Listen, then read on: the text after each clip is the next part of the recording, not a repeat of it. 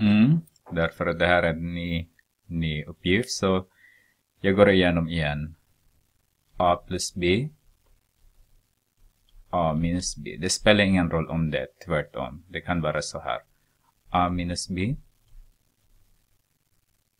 A plus B.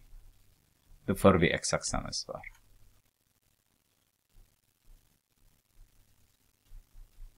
A upphöjt till 2 minus B upphöjt till 2. Okej, okay, så det spelar ingen roll om minus emellan är, kommer före plus emellan. Då får vi exakt samma svar. Ska vi titta på A.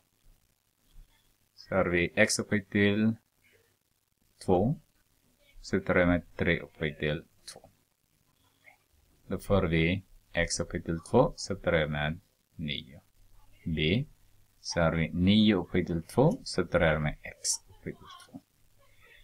Då har vi eh, 81. Nej, nu. Jag har redan räknat. 3 upphöjt till 2 ska det vara. Så har vi 9. Så tar jag med x upphöjt till 2. Eh, kom ihåg är att som jag har sagt innan att um, den minustecken kan komma så får vi exakt samma svar.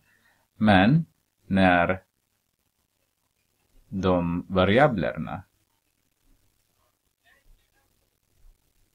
eh, äh, byter plats, då får vi inte exakt samma svar. Som vi har gjort med A och B som ni ser där.